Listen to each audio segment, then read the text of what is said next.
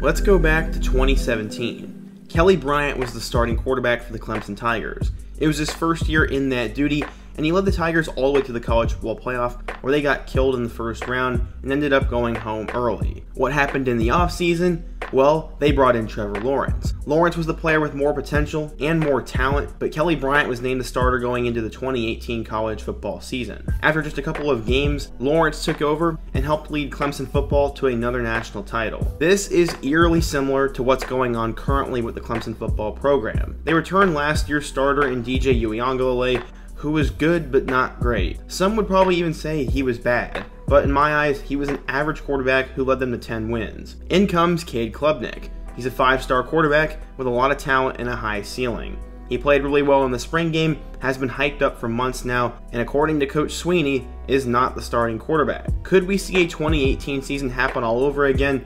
Is DJ actually the starter going forwards? And what is going on with this quarterback room? Today we're going to talk about that so, without further ado, let's just get into it.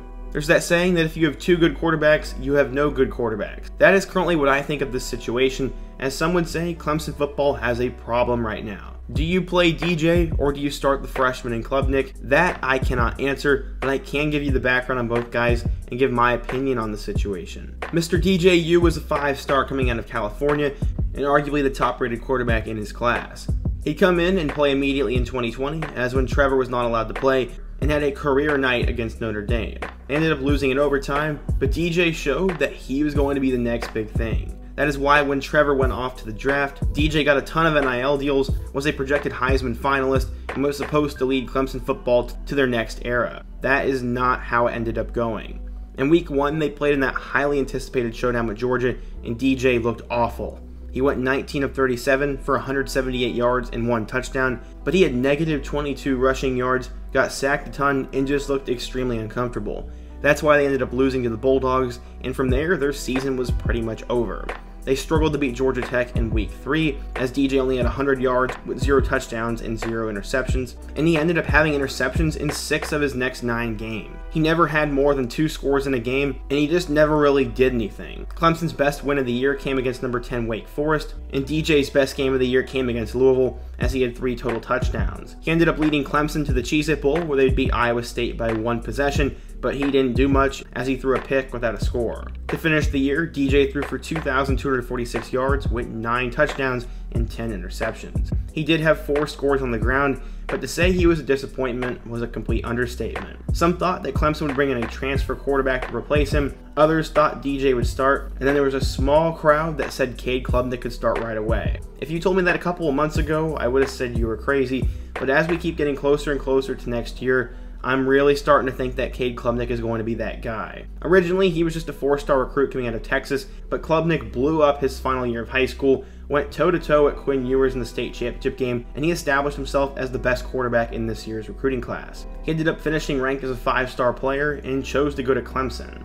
What's funny is he was actually Clemson's backup option compared to Ty Simpson, but they may have found the better guy. Cade enrolled early and has been talked about as one of the best workers and best leaders people have seen in a long time. And honestly, it looks like it's a matter of when and not if Cade Klubnik will play. As I mentioned earlier in the video, this is very similar to the Trevor Lawrence Kelly Bryant battle back in 2018. And I think after about two or three weeks, if DJ doesn't perform, he will be replaced by Cade and he'll take over from there.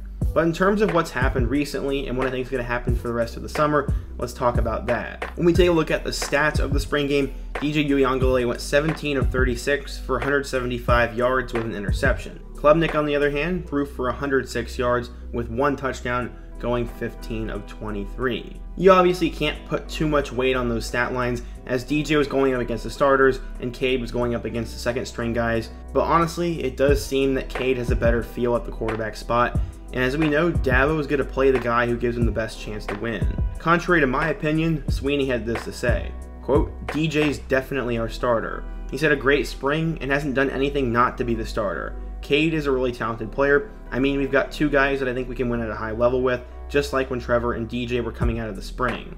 It's not often that you can say that, but I've seen enough from both of those guys to know that.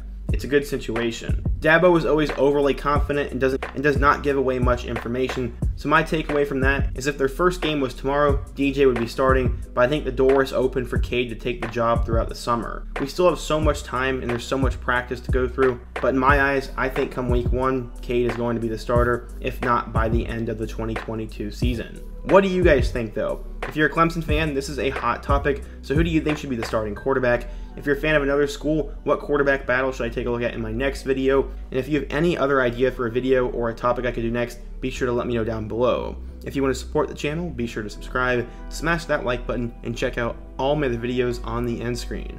I hope to see you guys again soon, but until next time, peace.